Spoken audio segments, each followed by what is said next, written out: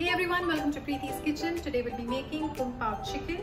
It's a Szechuan cuisine dish. It originated in the Szechuan province of southwestern China. It's a spicy stir-fried Chinese dish made with cubes of chicken, peanuts, vegetables and chili peppers. So let's get started. The chicken thigh pieces that I have taken, marinate them for half an hour with all-purpose flour, uh, corn flour, you can also take cassava flour, chili paste, soya sauce and salt according to your taste. I've marinated for half an hour, now it is time to fry them. The oil is hot.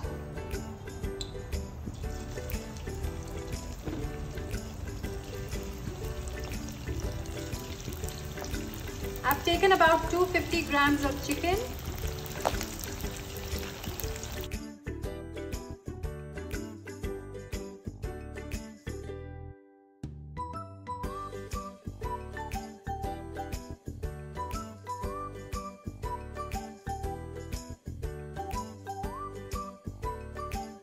the chicken is fried. I'll take it out and keep it aside. So in a wok, I've taken 2 tablespoons of oil. I've removed the rest of the oil. I'm putting 2 dry red chilies. I've cut them into small 2 halves. Uh, freshly cut ginger and garlic.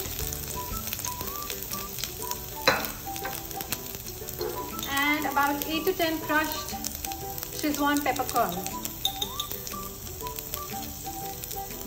The taste, the authentic taste to your Kung Pao chicken. Just saute and put the bell peppers,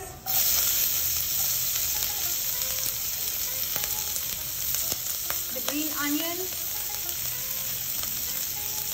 and we'll continue to fry for half a minute.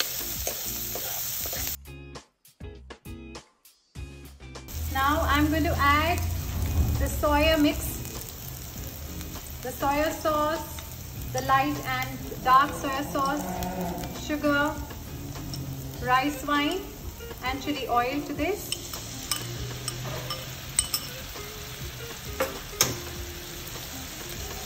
Put the flame on low. Just half a minute. Put half a cup of water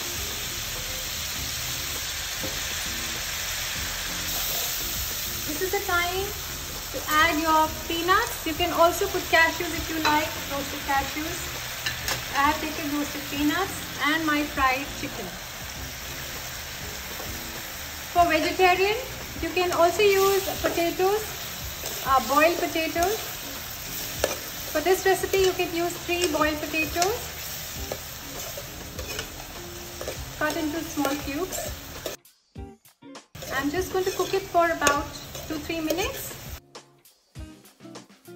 Alright. Now I will add vinegar which is just about half a teaspoon.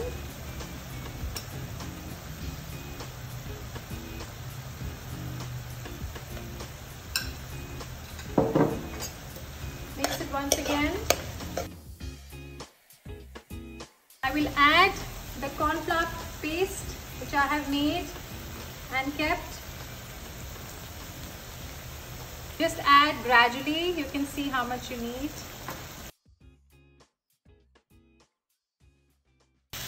There we go, our Kung Pao chicken is ready.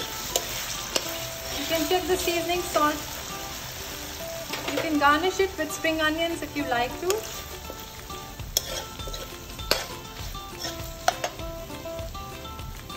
So if you've enjoyed this video, please like, share and subscribe and thank you for watching.